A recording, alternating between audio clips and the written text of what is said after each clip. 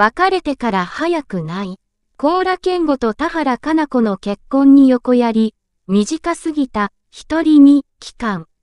10月4日に俳優の甲羅健吾と、タレントの田原かな子が所属事務所を通して結婚を発表した。田原の第一子妊娠も明らかになった。写真、元カノの黒島とコロナ禍にスーパーでお買い物をする甲羅健吾田原は、としちゃんの愛称でおなじみの田原俊彦の娘。二人は今年1月に熱愛が報じられており、結婚も取り沙汰されていた。だが、過去の恋愛遍歴に関してネット上ではツッコミの声も上がっていると語るのは芸能プロ関係者だ。別の人とくっつくの早くない。コーラさんの元カノとして知られるのは女優の黒島結菜さんですね。2020年のフライデーの報道によって、二人が2015年の NHK の大河ドラマ、花燃ゆの共演をきっかけに交際に発展していたことが明らかになり、10歳の年齢差も相まって大きな話題となりました。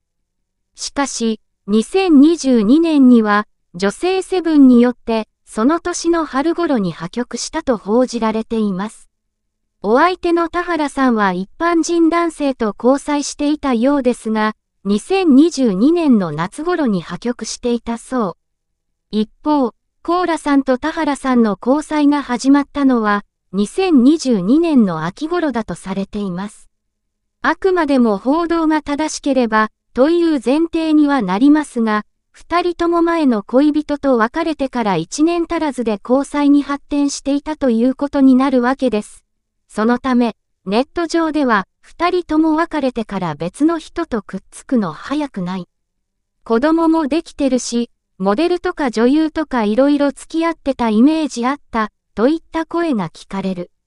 確かに別の人と破局後、すぐに交際が始まったのかもしれませんが、黒島さんもコーラさんと破局後、宮沢ひよさんと事実婚をして今年の7月にはママになっていますけどね。同前、コーラのファンからはコーラ健吾、ショックといった嘆きの声がある一方でコーラくん。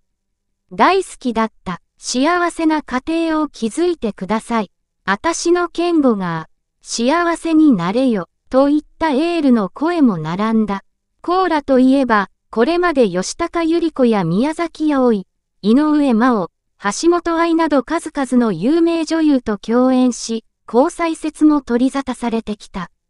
やっと将来の伴侶に出会えたということか。